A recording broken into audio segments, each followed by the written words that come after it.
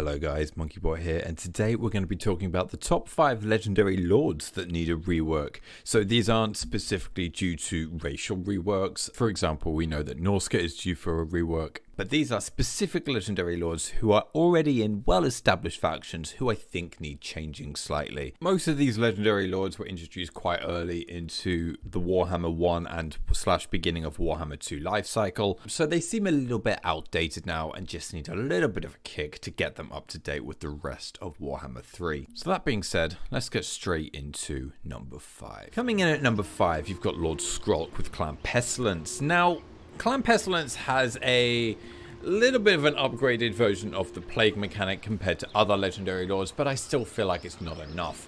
I I just wanted to start with this one for number 5. I think it's the most obvious. A lot of people have been uh, requesting this. A lot of other content creators have talked about this, but it just needs another version of Nurgle's plague mechanic. But he does have uh, a little bit of a buff. So, for example, at the moment, he has a chance of plague spreading plus 100%. And unique to him, his plagues also bolster his forces and nurture his settlements, actually giving a stat boost to all of his armies and regions. But I think it needs to be a little bit better. Uh, there is a lovely mod on the workshop that actually demonstrates this really nicely. You start off with the original buffs that you would get normally if you were releasing these plagues into the world, but then you've got additional benefits down below, um, which you can add on to the plagues, very similar to Nurgle's plague mechanic. I do think that actually these plagues should be able to spread Nurgle corruption. It does make sense if a disease is spreading throughout the world. It doesn't really matter who's created that disease or where that disease came from. It should be a Nurgle uh, thing, and he should start spreading Nurgle corruption. And I think that you should uh, also gain relationships to Nurglish factions, maybe giving yourself an early ally up here if you can take out Itza before this faction dies. I think it'll be quite a nice little thematic thing for Clan Pestilence. But that's kind of it, to be honest. Just give him a nice plague uh, mechanic. Um, he just needs a little bit of boost because, to be honest, out of the four major clans in Total War Warhammer 3, he's just a little bit basic. He feels very generic and he needs to give that oomph that the other three uh, major clans have. Anyway, that's it for Clan Pestilence. Now let's move on to number four. Coming in at number four, we have Vlad and Isabella von Carstein. Now, in Vlad's lore, his ambition and goal in life is to become the Emperor of the Empire. So I think it would be very fitting for him to actually have some form of the Elector Count system, but in a very slight difference to the traditional Elector Count system that we have over here with Karl Franz and Gelt. I do think that you should be able to, instead of confederate the other Elector Counts, but vassalize them. And I think if you were to do something very similar to how the Warriors of Chaos have their Dark Fortresses and they can vassalize the Norscans, I think if you were to go over here and take the, the capital here of the Ostermark uh, Elector Count, you should be able to vassalize the other three minor, uh, minor, minor settlements over here um, to become part of your empire. So you're not completely destroying the empires. You don't want to destroy them as Vlad, really, in his lore. He just wants to rule them. So I think that you should have this um, to vassalize all of the elector counts across the entire empire, including Karl Franz himself. If you were to go all the way over to Altdorf, for example, straight away and take it, you should be able to confederate, um, not confederate, sorry, you should be able to vassalize Karl Franz immediately, no matter how strong he is. Um, I do think that you should also gain fealty with these elector counts over time, uh, but I do think that you need to be vassalized with them for the fealty to increase, and then once that fealty has uh, maxed out at level 10, you should start unlocking the uh, unique items and unique units that those elector counts would normally gift to Karl Franz. And that will just give you a little bit of a boost and some some bit of an incentive to actually become the emperor rather than just kill all of the empire. Um, it gives you a slightly unique campaign because I feel like all the vampire counts are very samey in Warhammer 3 at the moment. The only one that's got some slight difference actually would be um, Mannfred with the Books of Nagash system. Uh, but apart from that, everyone is pretty much the exact same. So giving this kind of mechanic to Vlad, I think would be very fitting for him and give the vampires a much more needed, fresh uh, campaign style to play. Anyway, moving on to number three. Coming in at number three, we have Crone Hellebron. Now, correct me if I'm wrong, but out of all of the legendary lords for the Dark Elves, I'm pretty sure that Crone Hellebron is the least popular. I think even Rakarth is beating Crone at this point. Um, she's very outdated. She needs a little bit of a tweak and a rework, and most of her mechanics just just don't help her at all. Um, and the main mechanic that she has that's unique to her would be the Death Night mechanic. So the Death Night mechanic, you have to sacrifice slaves to be able to fill up this meter to get a quite a powerful buff. Um, and you have to sacrifice quite a lot of slaves, particularly for the early game. 500 slaves is, is quite a lot in the early game. And uh, the buffs you do get, I will be honest, are very good. So you get 20% physical resistance uh, for Witch Elves, uh, Sisters of Slaughter, Death Hags, uh, Khainite Assassins, and Har Ganeth Executioners. And especially for the Har Ganeth Executioners, being your most elite units, having 20% physical resistance on them is really good. Plus you get the extra 10% uh, plus 10 leadership and plus 6 control for all provinces. So it's really nice. You do get some really nice bonuses, but at the cost of your income. You you will struggle to get early game income with this when you have to sacrifice so many slaves. And if you do not keep this up, you start getting some hefty uh, penalties here. Minus 4 control, which on legendary difficulty is going to be pretty crazy. And then Chaos Undivided Corruption plus 2 for all provinces, again hurting your control even further. Um, and I also want to get onto the Blood Voyage mechanic, because that's another part of a mechanic which is supposed to be helpful, but at the end of the day is more of a donation to all of the High Elves living on Ulthuan. So every time you activate this, you will get a Blood Voyage, which will um, be sent. It's an AI-controlled army, which starts off over here near your capital, and then eventually will work its way down and start attacking the High Elves of Ulthuan. Um, it sounds really cool, but because it's not a Legendary Lord faction, it's it feels more like a rebellion faction, so probably I'm not really sure how the auto resolves works, but it feels like a rebellion and it feels like it's taken out very easily. So for example, it will come down here, quite a powerful army. It normally has some really strong troops in there. Uh, they're all unbreakable, but if Alarielle was to come up there and wipe it out, it'll probably wipe it out in one battle and then all you do is just give a really large uh, gold donation to the High Elves, making them more powerful and leveling up Alarielle and her other legendary lords, making her stronger and more of a threat to deal with later on.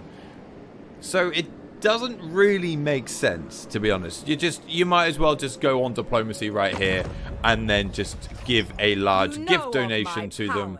Um, where is it? Like here, and yeah, you might as well do that. It will actually save the. Uh, it will actually be more beneficial to you because you won't give that XP donation at the same time. Uh, so to change this, I think, yes, you should still be able to get a Blood Voyage, but I think very similar to the Greenskins Waaagh, it should just be attacked to Crone's army. It shouldn't be a full-on war, it shouldn't be to all of the uh, lords in Crone's army, but only for Crone Hellebron herself. And then she can build up this army while this is full, so uh, units will be recruited while it's at max. It will maintain at max, so you won't get any new units, but you also won't lose them. And then they can start to take attrition uh, from these sections here. Uh, so actually the buffs and negative traits that you get um, should kind of remain. I do think the cost of this should uh, increase further as you get onto the campaign. So every time you pay for it, it should go up. But I think that it should start at a lower amount, maybe at 50 slaves going to 100 slaves, then 200 slaves and 400 slaves, and maybe double every turn. I'm not sure how to balance it properly, but it should increase over time, but start at a lower amount, so it flows nicely with your campaign as you're progressing further. Um, yeah, so that's kind of it for Crone Hellebron. Give her a small war mechanic attached to her army and change this very slightly. Um, but it just needs to be updated a little bit. I just feel like it's a little bit lacking. Anyway, moving on to number two. Coming in at number two, you have the other side of the Queen and the Crone DLC, which is Alarielle. Now, Alarielle's campaign is definitely a lot more popular than Hellebron's and a lot more powerful, and I think that's due to the Sister of Avelorn spam that you can do as she buffs them up to Oblivion and makes them a real powerhouse. But I want to be talking about her mechanic, which is the Defender of Ulthuan mechanic. And I do like it as a mechanic, but I think it needs to be improved on a little bit more as it seems a little bit outdated. And to be honest, it's a little bit easy. And once you've completed the Defender of Ulthuan, you can just steamroll and forget about the mechanic completely. But I think it needs to be something that's always on the back of your mind when playing Alarielle, as she is meant to be the defender of Ulthuan. So, um, I want to introduce something from the Wood Elves, which would be the incursion mechanic. While playing the Wood Elves, there is an event that happens where there is an incursion at the Vale, and it raises the Vale, allowing the Wood Elves to teleport and take the Vale for themselves, so they can start upgrading the forest health and then uh, do the Ritual of Rebirth, uh, just, just giving you another uh, forest. But I think the, these incursions should be adopted by Alarielle as well. So, there are two tiers to the Defender of Ulthuan. There, are, there is the inner circle, and then there is the outer circle. So, for example, right now, the inner circle is now being breached. Uh, that's due to these Dark Elf factions here and here occupying the inner circle. Now, if the if the inner circle is being occupied by non-high elf factions, you should start having incursions that happen around the inner circle. Once you've maximized the inner circle and it's completed by the high elves, this should then go to the outer circle where you should start getting incursions. And then when this is completely full and completely defended, you will get incursions that start off in the ocean and then they will start attacking Ulthuan, being at war with including Tyrion and Eltharion, so they will also be able to help you defend against these incursions. Um, but I think it just gives a little bit of a challenge to Alarielle and actually makes it a little bit more thematic. As you've also got the uh, Mortal World's Torment, which when Chaos gets stronger, um, more debuffs uh, will happen to Alarielle and buffs will happen to Chaos, making them stronger and making you weaker. Uh, I do think that these incursions should mainly be Chaos. It should be a combination of Slaaneshi, uh, Dark Elves, and Warriors of Chaos factions. And this will also give a chance for N'Kari to respawn and start causing more havoc on the island of Ulthuan. Uh, as he does respawn quite often in the lore and attacks Ulthuan pretty regularly, to be honest. Anyway, that's going to be enough for Alarielle. Let's move on to number one. Now, finally, coming in at number one, we have Oxyotl. Now, Oxyotl's campaign is quite fun, to be honest, at the beginning of the campaign, but it becomes very stale very quickly, and that is due to the visions of the old one mechanic. And the problem that I have with this mechanic is that in theory, it does feel really cool. It should feel very XCOM where you have to make very difficult decisions. But the problem is, they aren't difficult decisions and it doesn't really go anywhere. It's just constantly repeating the same, same thing over and over again and it just never ends. And I feel like it just needs to build up to something big at the end. And I think that will come with some form of chaos invasion, like an end times event or an end game event, whatever you want to call it. And I think there needs to be a meter up here that builds up over the course of the campaign, and you have to either slow that down or reduce the strength of it somehow before the invasion actually occurs. This will mean that once this has been activated, your goal at that point will be to stop the invasion, and once you have stopped the invasion, then the visions of the old one will be complete and you don't need to worry about the mechanic anymore and then you can just go around conquering the rest of the world as you please. I do also think that the visions should be a lot more impactful as well, uh, especially towards the um, the chaos invasion that's going to happen. So, for example, there could be missions. I think there will need to be much uh, smaller duration. So, for example, this one here is 20 turns. I know that's not normal. I think the normal amount will be about four to six turns. but I think they should be reduced to maybe two or three turns, so some of them are going to fail. You will not be able to complete all of these tasks. So for example, there should be some tasks around here. Let's say that Skarbrand is over here and Ku'gath is over here.